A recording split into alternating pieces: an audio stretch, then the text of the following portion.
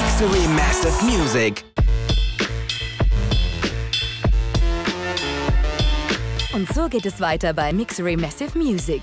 Konzertausschnitte und Interviews gibt es von und mit Materia, The Orsons, Allo Black, Sammy Deluxe und vielen mehr.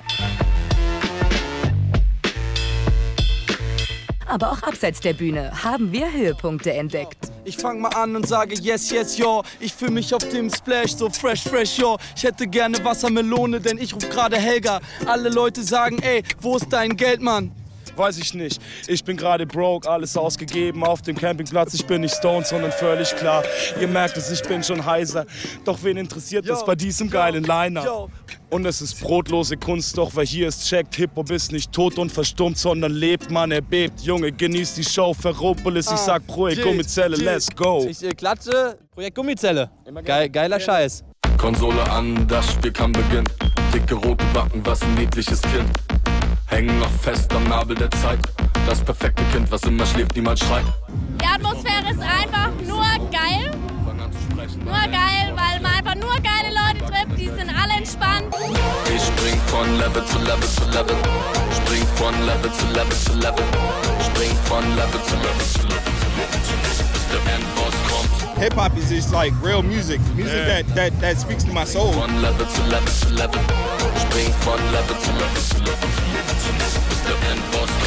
Ich freue mich auch sehr auf Sammy Deluxe. Sammy Deluxe und auch wegen dem Feeling. Definitiv Sammy Deluxe. Weil Sammy Deluxe kommt aus Deutschland und er, er weiß, was er tun muss. Okay.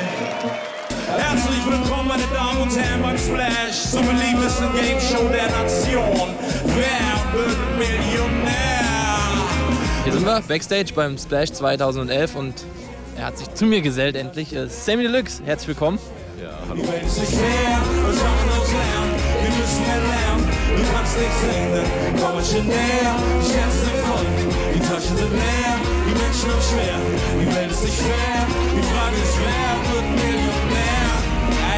Der Griff geht eigentlich bei jedem, der eine Plattenkiste vor sich sieht, direkt in die Plattenkiste. Und ich äh, hole jetzt eine Platte raus. 98 war es. Diese. Okay, ein bisschen ramponiert, du kannst sie umdrehen. Pures Gift, Schore für die Ohren. Richtig. Damals. Mr. Deluxe mit dem Großstadtreport. Gibt es ein Problem, bin ich sofort vor Ort. Ihr sagt Sozialstaat, ich sag nur bla bla. Sag mal, was ist das bloß für ein Wort? Ähm, wie zur Hölle kann man das Gerechtigkeit nennen? Sag mal, 10% geht's gut und dem Rest geht es schlecht. Aha, nicht nur weil sie wenig haben, sondern weil die Medien sagen, dass die Reichen besser sind, dass wir die Probleme starten. Wie war damals, und äh, beim Splash ist es ja immer so, dass sich Hip-Hop wieder trifft, der Anspruch von Hip-Hop und wie ist der Anspruch von Hip-Hop heute? Ja, ich rede in letzter Zeit oft darüber auf jeden Fall. Guck mal, das Ding ist, ich glaube echt so, dass dass der, der Hauptunterschied ist, dass, dass in der Generation, in der ich quasi angefangen habe, das so zu machen und auf Bühnen zu stehen, dass die Frage nicht bestand, will ich das als Beruf machen oder will ich es als Hobby haben. Es war wirklich nur unser Hobby. Es gab keine vorgelebten Vergleiche, dass man daraus wirklich ein kommerzielles Ding machen kann. So. Und ich glaube, genau das hat das eben sehr gut gefördert. Leute sagen, Sam, kritisier doch mal dieses Land nicht. Wie wir Party machen, man spielt doch mal etwas anderes. Grüne Brille oder bis die Sonne rauskommt. Äh, ich hab was Neues dabei, okay, komm auf den Punkt. Ich sag, wie kann es sein, dass Bildung hier heute ein Privileg ist? Und jedes zweite Taxi im Land hier ist ein Mercedes, sei mal Trampolin. Hilf mir auf die Sprünge, ich versteh das nicht. So viele Fakten, viele sehen es nicht, du kannst es nicht sehen. Dann komm bisschen näher, schätze voll. Ich persönlich habe gemerkt, dass das Coolste eigentlich ist, Leute zu treffen, nicht die irgendwas Krasses haben, sondern die was Krasses können, weißt du? Mhm. Und das ist, was mich immer inspiriert. Und habe mir auch was aufgebaut mit diesem Studio da jetzt, dass ich einfach genauso, wie wie es damals war, genauso Mhm. Musik machen kann, weißt du? Was die Jahre zwischendurch nicht so leicht war, einfach immer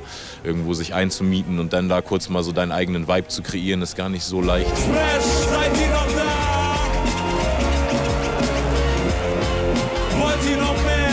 Album ist jetzt ungefähr das vierte schwarz-weiße Album, so, was ich dann gepickt habe. So, da, und da gibt es ungefähr drei, vier Tracks, die von Anfang an dabei waren, die dann wirklich immer wieder überarbeitet wurden und so. Und, und vieles ist einfach weggefallen und neu dazugekommen. Aber so ein paar Sachen so, äh, auf dem Album sind wirklich mindestens durch 30, 40 Produktionssessions gegangen, immer wieder rangesetzt und so einen Tag damit verbracht. So. Wissen es macht, ich brauch Scheine, will Scheine, krieg Scheine, egal wie. Ey, ich sag, fuck das an der Schüssel zum Erfolg, die Bildung ist. Fuck das an der Preis für Bildungen nicht billig ist. Fuck das, dass viele abfucken, der Staffel bedingt ist, weil er sie nicht richtig unterstützt, deshalb bin ich es, der die schlechte Nuss überbringen muss, sinnlos, Leute hören nicht auf die Worte, nur auf den Rhythmus, okay, dann kombiniere ich das mit einem Tanzschritt, vielleicht hätte ich so schon wie früher ein Hit gelandet. Das Ganze kommt am äh, 29.07. raus. Die Hip-Hop-Welt ist wieder gespannt. Ähm, noch zum Abschluss, gibt es noch einen Act hier beim Splash, den du dieses Jahr besonders feierst? Ich wollte Allo Black mir immer mal angucken, auf jeden Fall. Neben mir steht er, einer der Headliner hier beim äh, Splash 2011. Welcome, hello Black. Nice to have you on the show. I need a dollar, dollar, dollar, that's what I need. Hey, hey, well, I need. How do you prepare in your mind for a show like this? Um, I don't know. I'm already prepared, really. Look, I make music and I'm here to present it, so the people are here to see it. It's a great combination. Like they're here to see it, I'm here to give it. We're both prepared already. Like, yeah. it fits perfect. And uh, but do you change your setup uh, for kind of a hip hop festival or just uh, playing like the normal set list? I have the same. It's the same musicians. We'll play m- mostly the same set list. We might do something special today for a hip hop audience. Okay. So we'll see. Well, I need dollar, dollar, dollar, that's what I need. Yesterday, uh, Chuck D told uh, us that the music scene from the US, if there would be an uh, music Olympics, wouldn't get gold or silver or bronze. And do you think uh, Germany can, or especially Berlin, can, yeah, get some uh, vibes into the world? Yeah, probably. I mean, the vibes are everywhere, and I think wherever there's a fostering of art, you'll have some competitive uh, artists. And I can see it happening in Berlin right now. I can see it happening in other cities too around the world. But um, it's the most important thing is when the government is not hindering artists.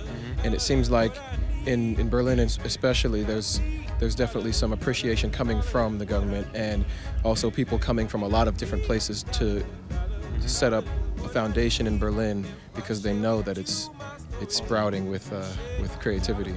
Thank you. Hello, Black. Ich lese die Zeitung und sehe eine Welt voller Wunder. Sollte sie runtergehen, schlag ich einfach im Zelt auf und schneid dir die Kehle durch und dass ein neuer Mund entsteht. Splash ist eigentlich jedes Jahr immer ganz cool. Bei mir ist es jetzt das sechste Splash. Hier ist noch die Bändel von den letzten drei Jahren. Das ist eigentlich immer ein cooles Erlebnis. Drei, vier Tage Party. Macht ruhig so weiter, aber kreuz nicht unseren Weg. Schneid dir die Kehle durch und dass ein neuer Mund entsteht. Wir wollen, dass alles im Trägern untergeht. Und wenn du noch das Gemäuer runtersteht, mach ruhig so weiter, aber kreuz nicht unseren Weg.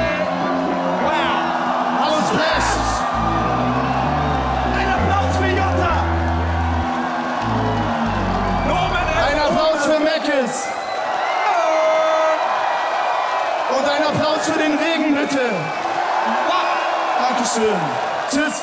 Ja, äh, bisher sah es ja ganz gut aus eigentlich mit dem Wetter. Die Sonne, alle haben sich gefreut, sind mit freiem Oberkörper rumgelaufen und dann irgendwann musste es ja so kommen. Die dunklen Wolken kamen und haben jetzt äh, doch etwas rabiat die Orsons unterbrochen, die gerade ihr Konzert abgebrochen haben. Ähm, so kann das auch gehen beim Splash, aber die Massen sind noch da.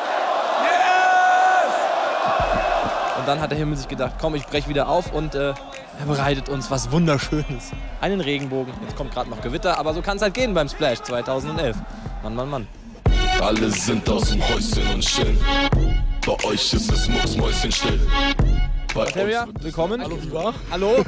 Willkommen in der Runde. Ihr seid gerade eigentlich direkt von der Bühne gekommen, so quasi eigentlich, ne? Jetzt von der Bühne runtergerollt, praktisch zu dem Interview. Ja, und äh, wie war das so auf der Bühne noch? Wir, haben heute mal, glaube ich, gezeigt, wo der Hammer hängt in Sachen Live-Performance. Bei uns wird es laut, jetzt wird aufgedreht. Titten hoch, Hände raus, muss sein, wenn wir saufen gehen. Alle sind aus dem Häuschen und chillen. Bei euch ist es mucksmäuschenstill. Bei uns wird es laut, jetzt wird aufgedreht. Wir fahren Taxi, ihr könnt ja nach Hause gehen. Wahnsinnigen Spaß gemacht, heute aufzutreten. Mit Masimoto, mit Chefcat, mit Yasha bei Verstrahlt und mit dem ganzen Rauch und Masimoto, Wahnsinn und so. Es war einfach so ein. Man hat von Anfang an, manchmal hat man ja so ein Gefühl bei so Live-Auftritten, wo du von Anfang an weißt, so, ja, das wird geil heute. Und manchmal bist du dann eher so, okay, mal gucken, wie das so wird. Und heute war das, glaube ich, äh, von Anfang an der Wahnsinn. Indianer, wo sind die Hände? Gib den Indianern ihr Land zurück. Ja, sie haben es sich verdient. Ist auf jeden Fall deswegen was wahnsinnig Besonderes und deswegen sind wir so froh, dass dieser Auftritt heute so perfekt war. Man kann sagen, es war wirklich so der schönste Auftritt, den wir jemals hatten, weil alles perfekt war. Leute, sagt mir, wer sind die coolsten? Keine Ahnung, ich sag's euch, Indianer, Jana, Jana, kein Ding, sich zu outen. Cowboys, Brokeback Mountain. Ein Indianer geht in den Club, braucht kein Geld, bezahlt mit dem Fuchs. Raucht Weed, baut die Pfeife selbst, fühlt sich wohl auf dem Splash, denn das liegt erzählt. Außer vor fünf Jahren einmal war ich jedes Jahr hier, auch beim allerersten Splash, wo noch irgendwie 2000 Leute, ja klar, wo noch 2000 Leute da waren. Und bei uns ist es ja auch Tradition, dass wir immer auf dem Zeltplatz pennen. Also nicht auf dem VIP-Zeltplatz oder da im Hotel, sondern auf einem richtigen straighten Zeltplatz. Und das ist natürlich auch dieses Jahr wieder gemacht. Und dieser Vibe, das Festival-Ding, das machen wir natürlich nicht überall, das machen wir halt nur hier. So war das einfach, du kannst auch nicht, wenn du Auftritte hast, musst du dich auch entspannen, mal duschen, ein bisschen frisch werden. Und auf dem Zeltplatz weiß man ja mit dem Trichter und da und hier und der ganze Wahnsinn. einen kurzen mit und da nochmal. noch ein Steak und da wieder einen kurzen da. Und jetzt ist natürlich so, dass man da diese Bekanntheit hat. Aber trotzdem sollen die Leute verstehen, so hey, wir haben doch hier immer so gezeltet und wir machen das mit der Crew immer und das ist Pflicht, das haben wir damals gesagt und die Leute freuen sich ja dann auch auf den Zeltplatz.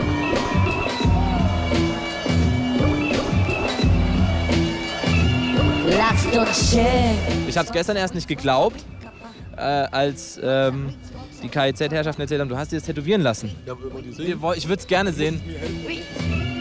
Bisschen geschwitzt. Alter Vater, da. Da steht einfach mal Paul Ripke. Wo ist er denn? Paul Riebke, 28, blauer Augen, aus Heidelberg, Hip-Hop ist mein.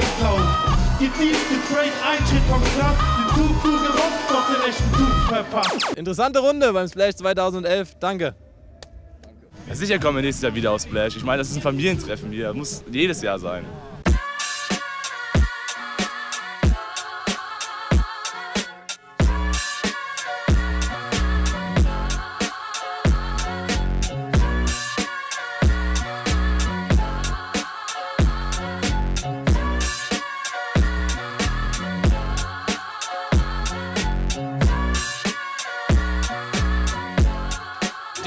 Sonne geht gerade unter, wie man es sehen kann.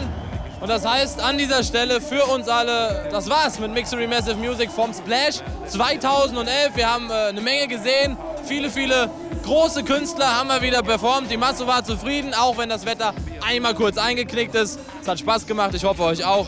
Also danke fürs Zusehen, macht's gut und bis zum nächsten Mal bei Mixery Massive Music.